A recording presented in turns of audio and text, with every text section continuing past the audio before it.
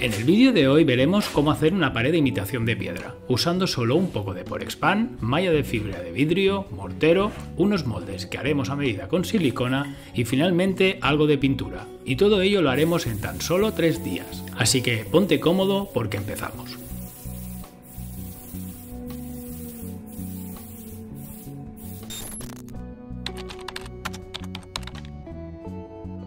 Hola de nuevo a todos y bienvenidos al canal.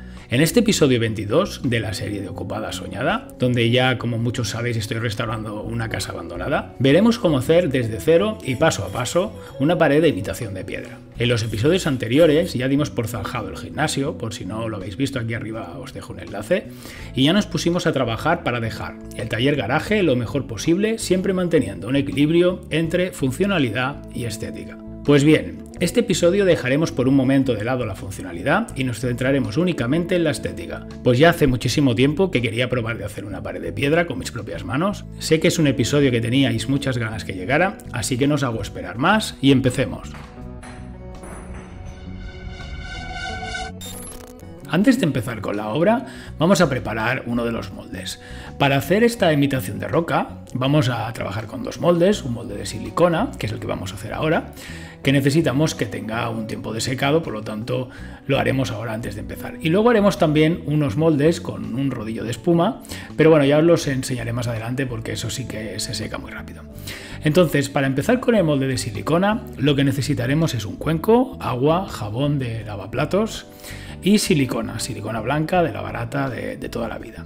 Entonces lo primero que haremos es vaciar los tubos de silicona en el agua, que previamente la, habremos puesto con muchísimo jabón. Y lo que se trata es de amasear esta, esta silicona como si fuera similar a una masa de pizza e ir haciendo unas bolas lo más grande posible y dejárnoslas preparadas para luego sacarlas en el exterior, en la parte de atrás, donde sacaremos el molde de una de las piedras que tengo en el jardín.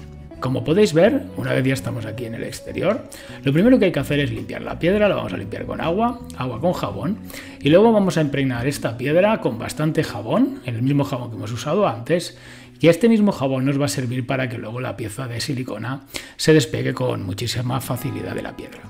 Entonces, con paciencia, vamos a ir aplicando la silicona, apretándola lo mejor posible para que quede el relieve bien marcado en, en dicho molde, y luego lo dejaremos secando un buen rato.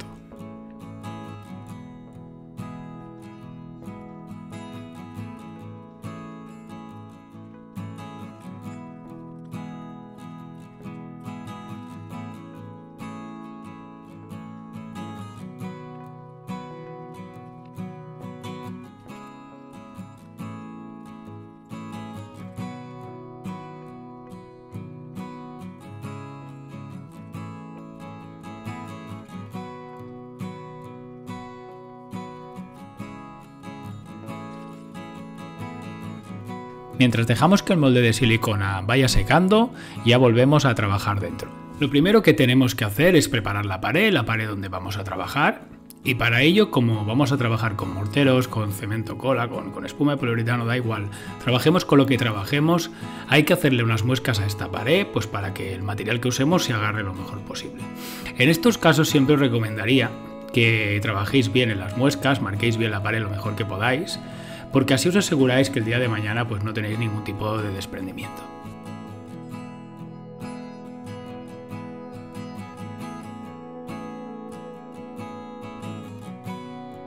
Una vez ya tenemos la pared bien marcada y ya la hemos soplado bien, ya nos podemos poner a trabajar encima de ella.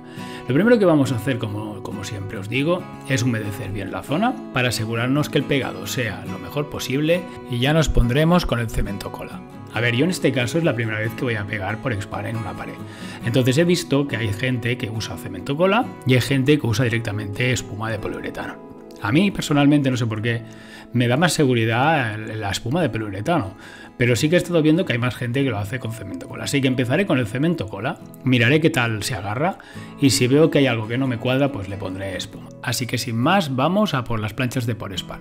Las planchas de Porespan eh, se ponen, pues como podéis ver, pegadas al cemento cola o pegadas a, la espuma de poliuretano y sirven básicamente pues, para ganar espacio, dimensión a la piedra, es decir, buscar una, tridimensionalidad a nuestra pared e intentar que esta piedra pues sobresalga de la superficie pues más plana de dicha pared. Entonces, para ello pues podéis buscar alguna imagen de referencia de algún trozo de piedra o montaña que os guste o de alguna imagen que encontréis por internet o simplemente pues podéis tirar de imaginación e intentar hacer pues una forma o un dibujo que os haga ilusión. En este caso yo voy a intentar hacer dos tres capas de span en la zona inferior y un par de capas más en la zona superior. Para ir pegando las planchas de span una encima de otra, pues voy a usar espuma de poliuretano normal y lo que voy a hacer también es voy a coger unos tornillos largos y voy a ir atornillando las planchas entre ellas sobre todo en la zona de la esquina, porque me interesa que aparte de que la espuma pues lo deje todo bien pegado, también tener una consistencia para después pues cuando trabaje encima no tener nunca ningún problema.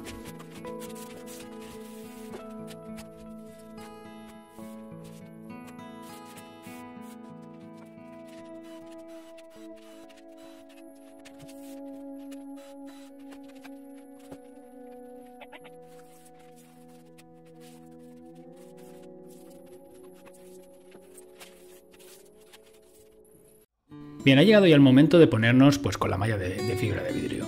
A ver, lo primero que vamos a hacer es reforzar la unión entre por span y por span. Para ello vamos a cortar pues unas tiras de malla de unos 20 centímetros y con la ayuda del mortero y con nuestra propia mano podemos aplicar mortero en la junta, poner la malla y con la ayuda de la mano un pincel intentar reforzar pues dichas juntas. Así lo que vamos a hacer es que el día de mañana nos aseguramos que en estas zonas pues haya más refuerzo de lo normal. Luego cuando terminemos, lógicamente va a ir una malla entera cubriendo pues toda la zona de la piedra y cogida la zona central que como veis el mortero pues está cogido a la pared. De este modo pues nos aseguramos con esta doble malla que el día de mañana pues no nos salga ninguna grieta.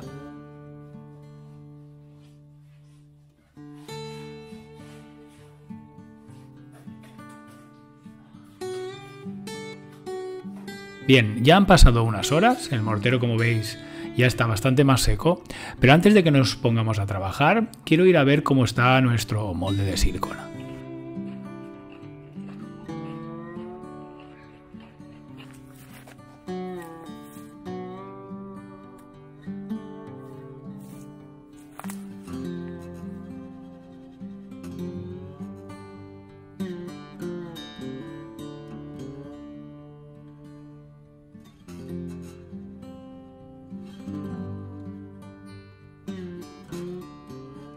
Una vez revisado que el molde de silicona ha quedado perfecto, ya nos ponemos a trabajar de nuevo.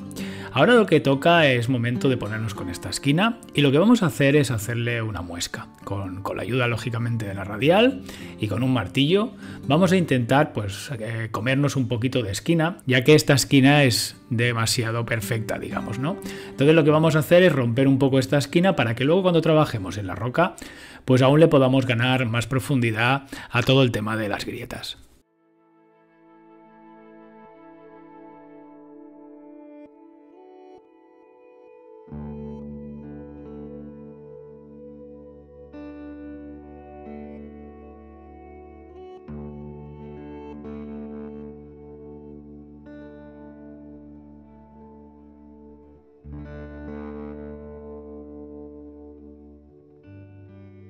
Bien, antes de seguir con la obra, paramos un segundo porque la verdad que se me había pasado por completo el otro molde que quería hacer, que era con un rodillo de espuma. Y aquí justamente cuando estaba haciendo esta esquina, pues me, he acordado, así que vamos a hacerlo en un momento. Como veis vamos a usar un par de, de, rodillos de pintura normal, pero son rodillos de espuma, porque nos interesa que dentro de cada agujerito de la espuma que digamos, se cuele la espuma de poliuretano, que como veis estoy poniendo en los rodillos, y de este modo cuando se vaya secando va a generar como un tipo de burbujas que luego cuando lo pasemos ese rodillo por nuestra pared de piedra, por nuestro mortero, se van a marcar pequeños agujeritos, ¿no? Entonces lo que voy a hacer es hacer dos rodillos, en una le voy a poner bastante más espuma para que el grano sea más grande y que marque más nuestra piedra, y en el otro rodillo lo que voy a hacer es echarle muchísima menos espuma, pues para tener dos tipos de grano o dos tipos de variantes y poder usar pues in situ la, la que más me convenza.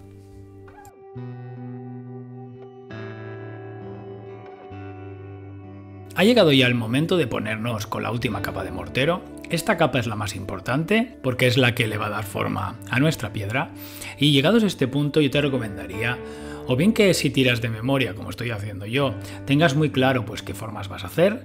Es muy difícil ir improvisando y que luego la forma general de una piedra o de un muro tan grande tenga su gracia. O bien, por otro lado, que cojas unas imágenes de referencia, te imprimas 6, 7, 10 fotografías de trozos de roca o de montaña que te gusten e intentes aplicarlo pues a tu pared. Una vez aclarado esto, voy a dejaros el vídeo íntegro a velocidad por 100 de todo el modelado de mortero porque creo que es muy interesante y creo que os puede aportar y así también veis cómo he ido trabajando y hay zonas que he ido pues modificando para que quedara pues lo más, lo más bonito posible.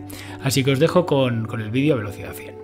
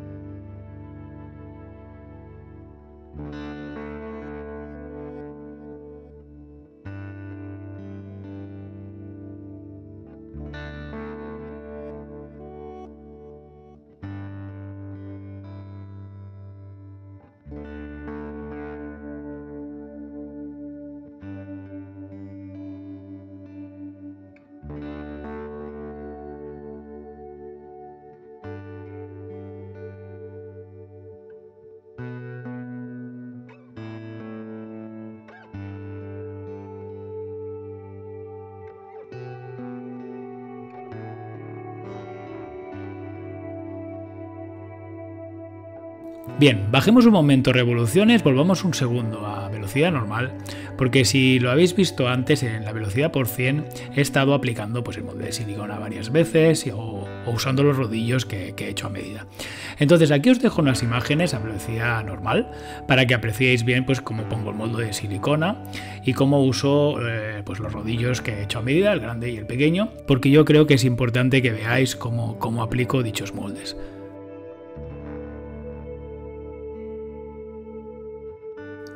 Os dejo unas imágenes de cómo han quedado los rodillos una vez la espuma se ha secado bien, para que lo veáis de más cerca pues cómo ha quedado el de grano grueso y el de grano más, más pequeño.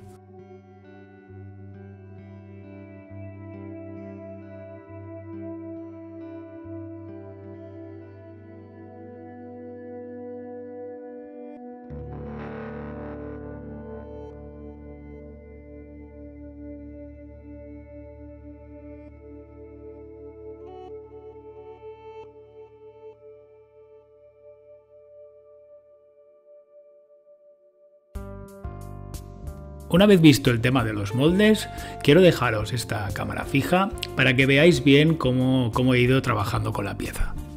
Para todo el tema de grietas y el trabajo pues más, más final y más elaborado, como podéis ver simplemente con una espátula y un pincel, pues voy a ir trabajando. Sí que es verdad que os tengo que decir que cuanta más paciencia y más tiempo le dediquéis, pues lógicamente la pieza pues va a quedar más realista. Entonces yo creo que este es el momento en el que precisamente no tenéis que tener prisa, dedicarle todo el tiempo necesario y veréis que al final pues la recompensa valdrá la pena.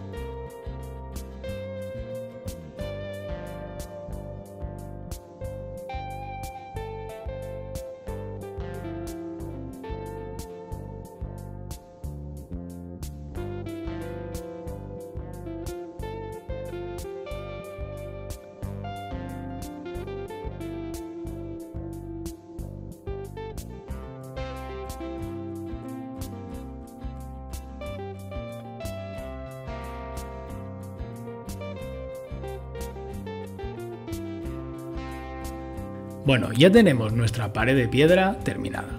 Como podéis ver, al menos bajo mi punto de vista, ha quedado bastante bien. Estoy, muy contento, la verdad. Es la primera vez que hacía un trabajo exactamente así, entonces, bueno, tenía mis dudas también hasta qué punto pues podía quedar realista, pero la verdad, la verdad que estoy muy, muy contento. En la zona central, como podéis ver aquí, he trabajado en una zona más lisa, he intentado que la roca también transmitiera que, que, es como más plana y he usado básicamente pues el molde de silicona y lo demás lo he hecho a mano. Y sí que en la zona inferior, por ejemplo, he usado muchísimo más los rodillos, los rodillos que he hecho con espuma de poliuretano, porque quería probar a ver qué, qué aspecto le daba a la roca. Entonces la verdad que bueno, estoy muy contento con las dos técnicas y estoy muy contento con el resultado final. Una vez llegados a este punto, toca decidir cómo lo vamos a pintar. Entonces, eh, bien puedo pintarlo a pistola, con pintura al agua, cualquier pintura, o bien puedo dedicarme a pintarlo a spray.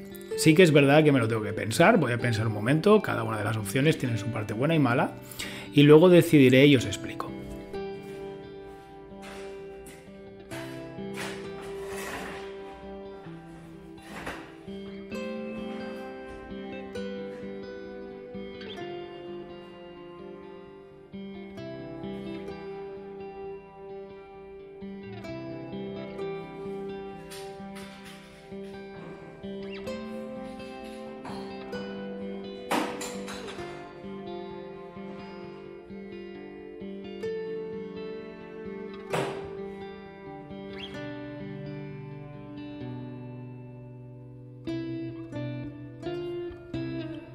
Bien, ya he decidido cómo pintar esto. Lo voy a pintar a spray. Y me diréis, ¿es la mejor opción, Rafa? No. Es decir, ya os lo digo. La mejor opción para esto sería pintarlo con una pintura al agua, a pistola o como queráis, pero con pintura al agua. De hecho, lo podríais pintar hasta pincel. ¿Qué ocurre? Que repito, que esto lo estoy haciendo a modo de experimento, estoy en un garaje y quiero experimentar. Entonces yo ya he pintado mortero varias veces con, con pincel y con pinturas al agua, incluso con pistola y sé cómo queda. Entonces quiero experimentar y quiero ver cómo queda con estos dos sprays. ¿Por qué os digo esto? Porque hace muchos años pinté una imitación de piedra que quería que pareciera pizarra y creo que usé el color Metropolitan de esta gama. No estoy del todo convencido, pero me suena bastante. Entonces yo aquí, no sé si lo veis, como no me acuerdo muy bien, le he tirado dos colores. El de arriba, el, el, el de la zona de aquí, es el antracita y el de la zona de aquí es el Metropolitan. Creo recordar que le eché, le el Metropolitan, pero no estoy seguro. Entonces lo que voy a hacer es, voy a pintar en principio el Metropolitan. Si queda bien voy a ir avanzando y ya pasaremos a la fase de pincel seco y ya veréis cómo se aplica pues para destacar las zonas más salientes de la piedra y darle un, una sensación de profundidad muy bonita a la piedra sin pasarnos, porque sí que he visto en internet que hay gente que se pasa con el pincel seco o incluso se pasa a la hora de tintar piedras y lo que haces es exagerar las sombras de una piedra o exagerar los brillos de una piedra. Entonces estás convirtiendo una piedra que quieres que sea natural en una piedra que claramente se ve que es artificial. Entonces lo dicho, luego pasaremos a pincel seco para destacar esto. Y lo primero que haremos, no os asustéis, es pintar con el color de abajo. Quedará muy oscuro, pero yo creo que la segunda fase veréis que queda muy bonito. Si el plano saliera bien y lógicamente yo no estuviera contento con el color, pues ya echaré por marcha atrás y cambiaremos de color y iremos pintando las veces que haga falta hasta que esté convencido del color que, voy a usar como base. Así que sin más, me pongo a ello. Bien, para un trabajo de esta magnitud, como el que tenemos aquí, si necesitamos pintar a spray no podemos usar las, las boquillas que tienen estándar y vamos a usar una de tiro alto. Eh, aquí arriba os dejo el enlace de los vídeos de, del gimnasio donde os explico bien cómo aplicar y porque uso esta boquilla y veréis las diferencias por si no lo habéis visto. Así que sin más eh, me voy a poner a ello.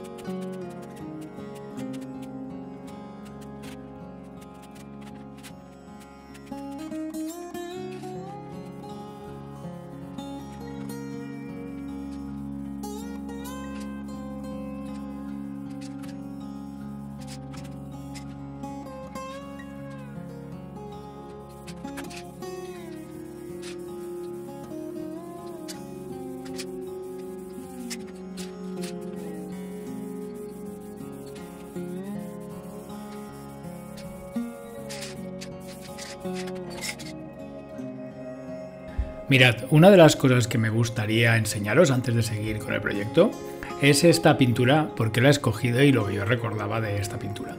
Si os fijáis con el reflejo, veréis que hay zonas que han quedado como más brillantes y otras que han quedado mate. Esto lo he hecho expresamente, es decir, cuando la pintura la cargas un poquito más, queda como más brillante y si no la cargas tanto, queda más mate. Este efecto ya lo usé hace muchísimos años para una imitación de pizarra y la verdad que quedó muy bonito. Así que buscaba un poco este efecto. Entonces nada, os lo quería mostrar antes de seguir adelante.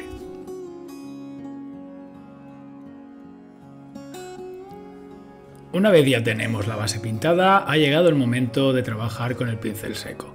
El pincel seco no deja de ser una técnica muy sencilla, que se trata de usar pues, un pincel bastante grande y con este pincel lo que vamos a hacer es aplicar una pintura que esté lo más seca posible, por eso se llama pincel seco.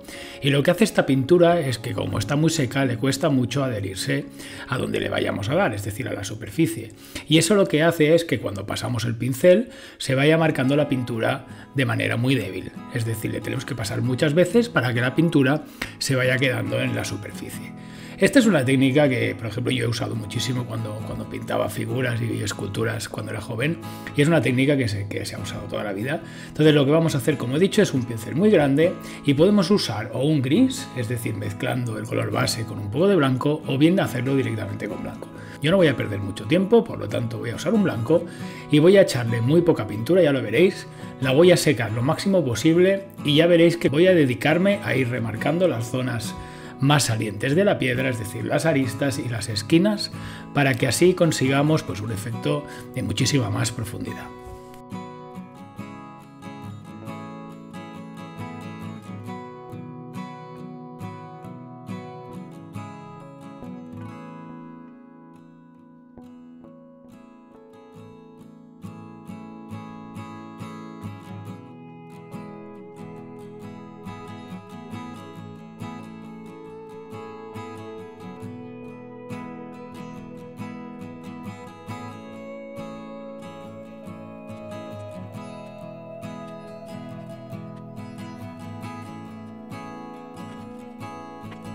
Bueno, ya hemos terminado de aplicar el pincel seco y la verdad pues que el resultado ha quedado bastante bien.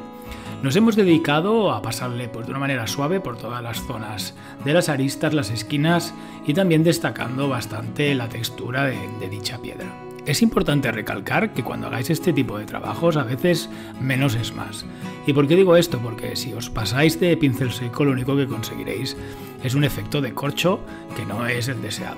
Pensad siempre que en la naturaleza no existen pinceles secos. Al final lo que estamos haciendo es intentar darle un look natural a una piedra que es artificial. Entonces nunca nos podemos pasar con este tipo de, digamos entre comillas, efectos especiales.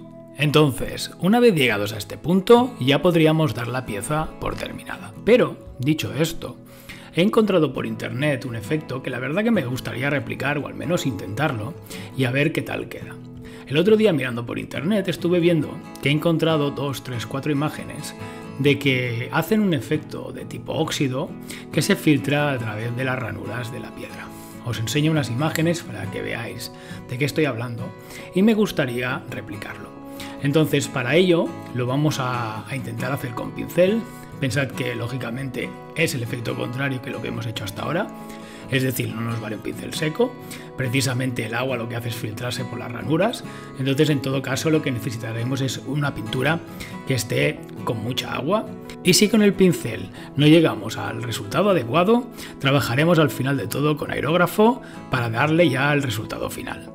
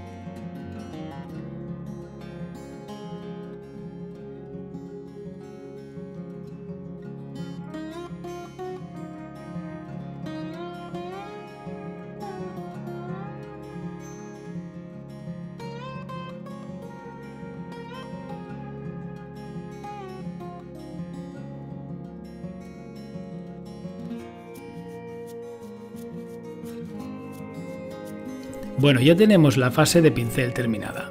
La verdad que no es el resultado exactamente que buscaba, por lo que al final le acabaré dando con aerógrafo sí o sí, pero no estoy nada descontento porque la verdad que como base, como tono así entre medio de marrón y oxidado, pues la verdad que el resultado es muy bueno. Pero con esta luz eh, no quiero darle aerógrafo porque me quiero asegurar tener la luz definitiva antes de pintar. No sea que luego cuando monte la luz definitiva el naranja quede demasiado chillón y me estropee la pieza.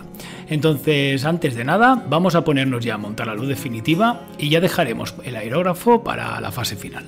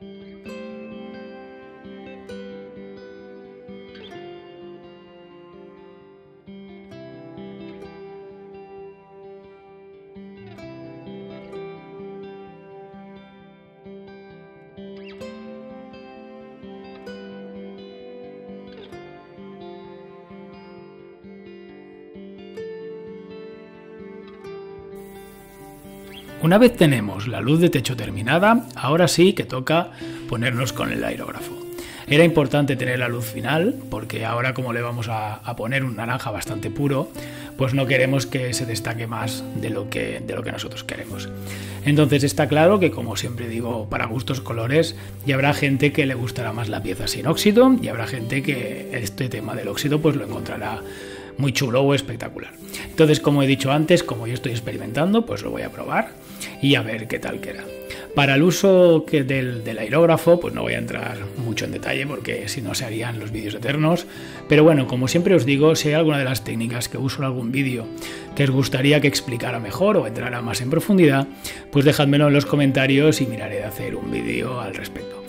Entonces, nada más, os dejo con imágenes de cómo voy aplicando el aerógrafo con paciencia y ya os emplazo al final para que veáis el resultado final.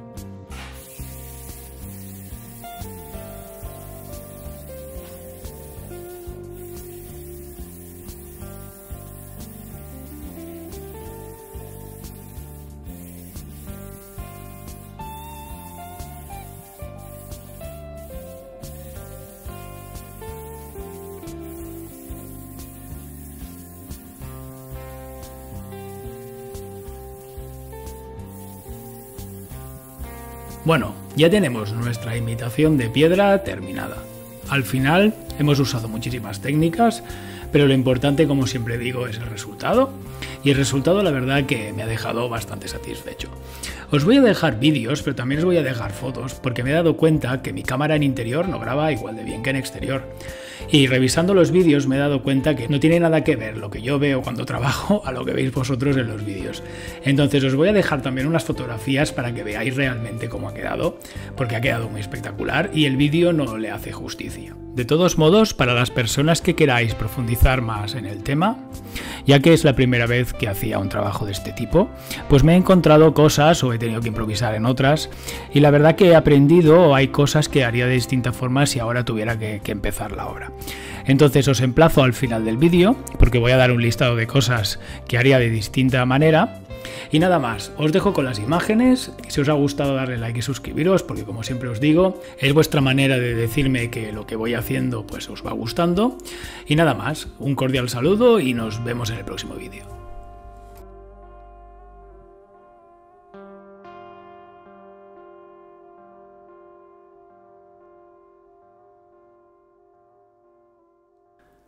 Bueno, empecemos ya con el listado de cosas que, me gustaría haber sabido antes de empezar o, o, que me he dado cuenta durante la obra y que haría de distinta manera pues si lo volviera a hacer.